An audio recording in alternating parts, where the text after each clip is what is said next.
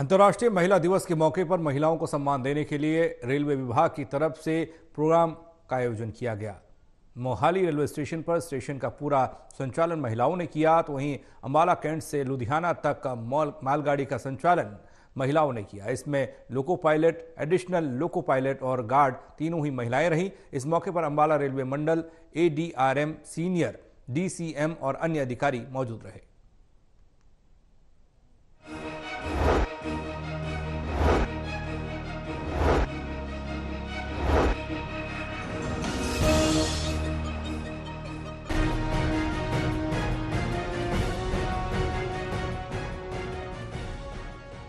आज पूरे विश्व में अंतर्राष्ट्रीय महिला दिवस मनाया गया। इस मौके पर रेलवे विभाग की ओर से महिलाओं को सम्मान देने के लिए कार्यक्रम का आयोजन किया गया।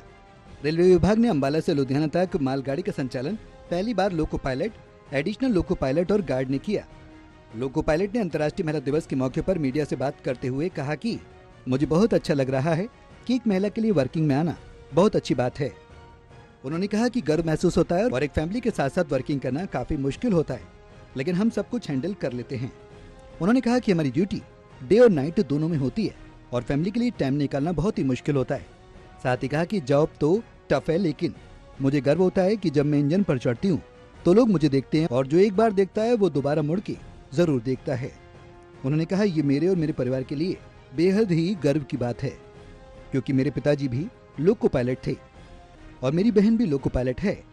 उन्होंने कहा कि मेरे पति भी लोको पायलट हैं। मुझे बहुत ही अच्छा लग रहा है क्योंकि एक वुमेंस के लिए वर्किंग जॉब वर्किंग में आना बहुत ही अच्छी बात है। प्राउड ही होता है। फैमिली के साथ साथ एक वर्किंग करना बहुत ही मुश्किल होता है। लेकिन हम सब कुछ हैंडल कर लेते हैं। अपनी फैमिली भी, बच्चे भी और अपनी ड्यूटी भी मैनेज कर लेते हैं। ड्यूटी का देखा जाए तो हमारी ड्यूटी डे नाइट दोनों में होती है और उसके साथ फैमिली को सपोर्ट करना फैमिली के फैमिली के लिए टाइम निकालना बहुत ही मुश्किल होता है। मेरे बच्चे हैं दो एक दो साल का बेबी है एक सिक्स ईयर की बेटी है मेरी जो कि स्कूल जाती है और मैं यहाँ अकेले ही रहती हूँ और मेरे साथ मेरी केयर टेकर रहती है। वहीं एडिशनल लोको पायलट ने भी इस मौके पर कहा कि आज मुझे बहुत अच्छा लग रहा है कि महिला दिवस के अवसर पर एक ट्रेन का संचालन तीनों ही महिलाएँ कर रही हैं। सर आज मुझे बहुत अच्छा लग रहा है कि आज हम तीनों ही आ, महिला दिवस के अवसर पर महिला ही एक ट्रेन को संचालन ट्रेन का संचालन करेंगी। और सर मुश्किल तो बहुत होती है इस जॉब में, बच्चों, फैमिली के साथ मैनेज कर पाना। लेकिन ये है कि अब जॉब है तो कर लेते हैं।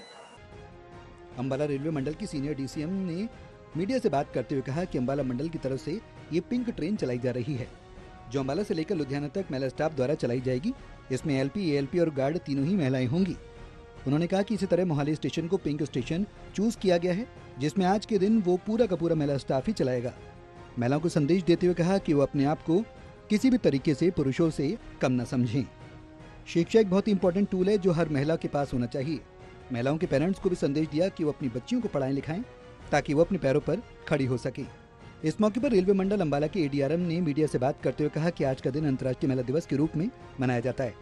इस कड़ी में हमने गुड्स ट्रेन को भी एक महिला स्टाफ द्वारा चलाने का निर्णय लिया। ये पहली गुड्स ट्रेन को चलाया जा रहा है जिसमें loco pilot additional loco pilot और गार्ड तीनों स्टाफ महिला हैं। किसी भी क्षेत्र में महिला काम कर सकती है इसी सिलसिले में हम ये चला रहे हैं। आ, जैसा कि आपको विदित है कि आज का दिन अंतर्राष्ट्रीय महिला दिवस के रूप में मनाया जाता है उनकी हर क्षेत्र में उपलब्धियों को रिकग्नाइज करने के लिए। उसी कड़ी में अम्बाला मंडल में भी आज पहली बार गुड्स ट्रेन को भी हम पूरी महिला स्टाफ के साथ में चलाने का एक निर्णय लिया है, जिसमें ये पहली गुड्स ट्रेन को चलाया जा रहा है, जिसमें loco pilot, assistant loco pilot और जो गार्ड हैं, वो तीनों महिलाएँ हैं। इसी चीज़ को सिंबलाइज करने के लिए कि महिला किसी भी क्षेत्र में अपना जो है योगदान दे सकती हैं और अच्छे से कार्य कर सकती हैं, उसी के सिलसिले में हम ये चला रहे हैं। इसके अलावा अम्बाला डिवीज़न के अजीत सिंह नगर मोहाली में भी जो है आज का दिन, स्टेशन का संचालन संपूर्ण महिलाओं द्वारा, महिला स्टाफ द्वारा किया जा रहा है। बहरहाल, आज कोई भी ऐसी फ़ील्ड नहीं है जिसमें महिलाओं ने अपनी छाप न छोड़ी हो। हमारा देश तब तक तरक्की नहीं कर पाएगा, जब तक महिलाएँ पुरुषों के साथ कंधे से कंधा मिलाकर नहीं चलेंगी। ऐसे में इस तरह की पहल काफ़ी सराहनीय है। अंबाला से टोटल न्यूज़ के लिए कृष्ण बाली की रिपोर्ट।